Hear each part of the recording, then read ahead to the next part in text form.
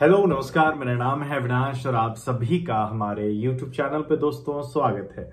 आज हम इस वीडियो में आपको बताने जा रहे हैं बाबर आज़म ने टी ट्वेंटी इंटरनेशनल क्रिकेट में जो उन्होंने मुकाबले खेले हैं, जो घर में खेले हैं और घर से बाहर खेल रहे हैं।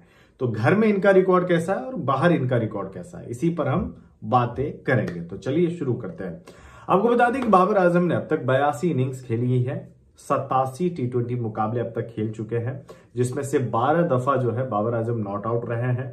दो शतक इन्होंने लगाया है 27 अर्धशतक, चार दफ़ा जो है शून्य पर आउट हुए हैं और अब तक जो है तीन हज़ार उनतालीस रन बना चुके हैं और 130 इनका स्ट्राइक रेट रहा है, जबकि 43 का जो है बाबर आज़म का एवरेज रहा है।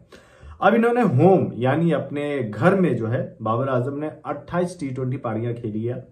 पाँच दफ़ा नॉट आउट रहे हैं, एक शतक है, नौ अर्धशतक है और तीन बार बाबर आज़म अपने घर में शून्य पर आउट हुए हैं। 110 इनका हाईएस्ट स्कोर है 1106 रन बाबर आज़म ने अब तक बना, बनाए हैं। 48 का इनका एवरेज रहा है और 140 का जो है बाबर आज़म का अपने घर में स्ट्राइक रेट हो जाता है। 12 कैचेज भी लिए हैं। इसके अलावा अवे, यानी कि घर से बाहर, यानी विदेशों में कैसा इनका रिकॉर्ड रहा, इस पर भी नज़र डाल लेते हैं। 54 इनिंग्स जो है बाबर आज़म ने अवे मैचों में खेले हैं। सात बार नॉट आउट रहे हैं। एक शतक और 18 अर्धशतक जो है बाबर आज़म ने लगाए हैं घर के बाहर। यानी कि घर में तो नौ लगाए थे, बाहर 18 लगाए हैं। एक बार, सिर्फ़ एक बार शून्य पर आउट हुए हैं बाबर आज़म। 122 इनका हाईएस्ट स्कोर रहा है, जो कि साउथ अफ्रीका में इन्होंने बनाया था।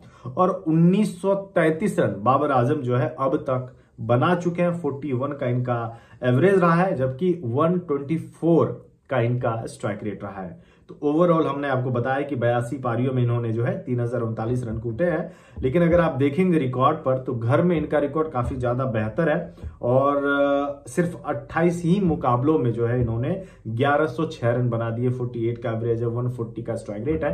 अगर ऐसा ही कुछ रिकॉर्ड्स इनका अवे में, यानी विदेशों में भी होता है तो बाबर आज़म के रिकॉर्ड्स और भी ज़्यादा बेहतर होंगे। आगे ट्राइनेशन सीरीज़ यानी कि बांग्लादेश, न्यूजीलैंड और पाकिस्तान की टीमें आमने सामने होंगी, एक दूसरे से खेलेंगे। मुकाबला और जो भी टीम जीतेगी वो सीधा फाइनल में जाएगी और टी ट्वेंटी विश्व कप से पहले जो है एक शानदार सीरीज़ कह सकते हैं, एक प्रैक्टिस सीरीज़ के तौर पर अगर आप देखेंगे तो शायद ये बेहतर है क्योंकि तीनों टीमें खेल रही है और तीनों इस बार विश्व कप भी खेलेगी। देखते हैं उसमें बाबर आज़म का प्रदर्शन कैसा रहता है। इस वीडियो में बस इतना ही, तमाम अपडेट्स के लिए स्पोर्ट्स चौक के साथ बने रहिए। धन्यवाद।